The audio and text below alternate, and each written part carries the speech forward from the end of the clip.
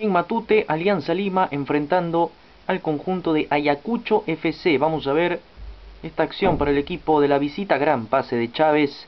Y el colombiano César Baloyes anota este golazo. Le sombrea la pelota al portero Forsyth. Y anota el 1 a 0 para el equipo visitante. Gran pase de Chávez. Y gran definición de Baloyes en la portería íntima para el 1 a 0.